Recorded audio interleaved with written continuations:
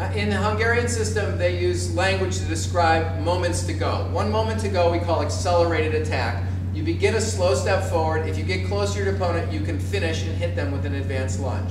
So we'll do a simple exercise. Step forward if I'm close enough to hit lunge. Step forward if I step back, stop, and retreat. Step forward and retreat. I wasn't there. Start to step forward and he catches me. Good. Good. Next thing we can do is we can do that with multiple steps where he's coming forward and then he suddenly, uh, when he sees the distance change, then he lunges. So we can take two or three steps. So let's take up to three steps. If you don't catch me after three, just stop. Good. Caught me on the first step. Didn't catch me? Good, caught me on the first step. In the Hungarian system, you can, if you attack someone as they begin an advance before their foot hits the ground, we call that foot tempo. That's a moment to catch them. Let's just practice that tempo. So you're going to go now. He, he, did hit me before my foot hit the ground. Now, good. Let's do it on the second or third step. Now, good. Okay, now we call that just, he's now going whenever he wants to. But if, I could also give him a hand cue. And so I could say go in foot tempo, which means at the beginning of my advance, when I open the target. So this would be hand and foot tempo. So if I keep my hand forward, he just retreats. Retreats, retreats, and Good. And then the final moment to go would be taking over the attack. When I stop moving, the other person can catch them.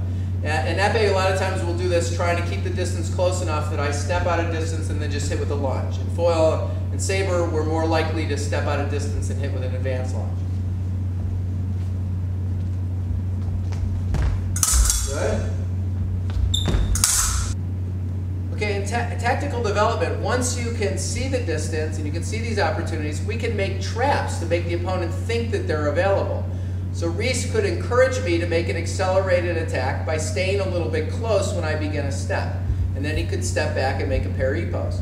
So he could, so as I start a step, he stays there a little bit long, he stays there and steps back and makes a parry pose. So this encourages me to finish. Uh, the next thing he could he could encourage me to make foot tempo by creating an opening as he steps forward. So he could make me think I should go into his advance by creating a hand and foot tempo opportunity. So we can set a trap patient in a parry pose. Don't take any more footwork. Stop. Stop. And then the other thing he could do is he could encourage me to take over the attack. So he could make a short lunge you know, encouraging me to go, and then he could either parry that or he could step out of distance and do it back to me. So he could go short to get me to go, step back, and take over the attack back on me. So let's try that. Make a little shorter tap. I step out, I go. Yeah, I like. The idea of preparation is very simple. You start a certain way, which teaches your opponent something, and then you eventually uh, uh change it. So let's start off like this. David's going to make the simplest possible preparation. It's very, very good for foil. He's going to take a step forward and he's going to pause. And that, if I'm smart, I'm going to learn that he's going to step forward and pause. I should be able to take over the attack. So try it the first time. Okay, and go away. I didn't get it the first time, so step forward, pause, step, stop, stop. Okay? So his movement, he steps, he pauses, he hangs out there, encourages me to go, steps back, and makes a parry pose. Now after that happens to me a couple of times, I'm probably going to react in a different way. So this time, I'm suspicious when he pauses. So I'm going to hang out, I'm going to, I'm going to wait too long, and then he's going to go again. So, ooh, boom, boom. Okay, so let's go back to the first two. So step and pause, I feel that, takes over the attack. I take over the attack, he makes a parry post. So the next time I'm suspicious when he pauses, Pause. Then he can go again, because I don't do anything. Now I start realizing, now here's something else I've learned. He's taking a step, he's not really threatening, he's not attacking, so maybe I'm a little careless. The next time he takes that step forward, I might be a little close and he can just hit me with an advanced lunge. So that might happen. And then the other thing that could happen, step and stop, and don't do anything else, just step and pause, pause and go away.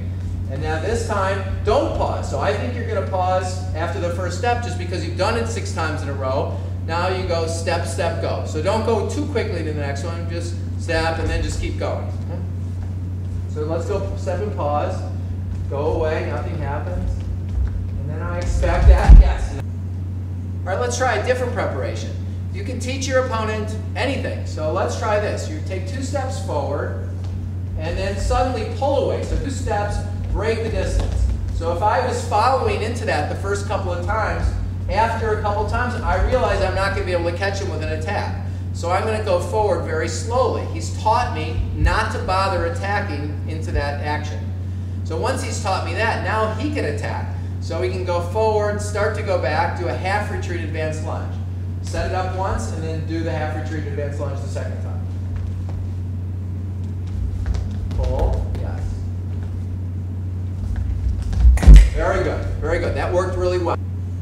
Right now, here's another preparation that's really intended to get a touch as well. So we don't have to do two steps forward, half step back, six times before we get a touch. We can actually try and make a touch with the first preparation.